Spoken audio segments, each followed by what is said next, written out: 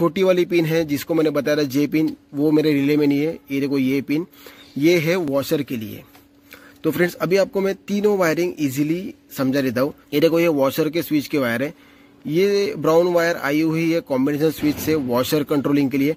उसके बाद ये जो मोटी ब्लू वाली वायर है, ये वायर गई हुई है सीधा फ्रंट वॉशर मोटर के लिए। तो कॉम्बिनेशन स्विच से ये वॉशर को कमांड आएगी। तो ये रिले ऑपरेट होगा। रिले ऑपरेट होने से वाइपर को कमांड मिलेगी और स्विच को जब तक ऑन रखेंगे, तब तक वाइपर भी चलेगा और वॉशर मोटर भी चलेगी।